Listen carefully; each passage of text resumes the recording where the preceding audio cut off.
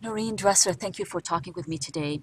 You are the co author of Saying Goodbye to Someone You Love Your Emotional Journey Through End of Life and Grief. Why did you write this book? I wrote this book because it was such an astounding experience for me to take care of my husband for one year as he was in what they called terminal condition. He had many heart issues, and um, I consider myself well, fairly well educated and fairly worldly, uh, sophisticated, and all that. But when it came to taking care of someone who was dying, I was just I was remedial, and I think most of us are. And I, after the experience uh, that I was plunged into, I had this need to share my information with others. One of the good parts uh, was for my husband and I is we had a very close relationship. Uh, but he had some funny ideas, as most husbands do. And um, he used to say, If I die. And I would always go, If?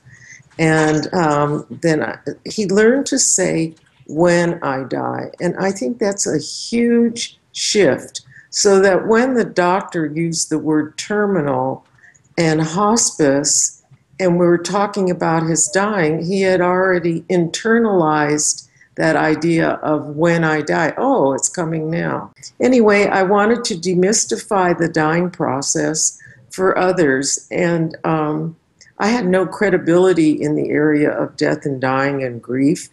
So I, I met Fredda and um, we just bonded instantly. In fact, we still call each other soul sisters because we went through this process together. Not only did I review every instant and every different aspect and issue of death and dying, but then I had her input as a professional in the in the area of grief counseling, and so we bonded.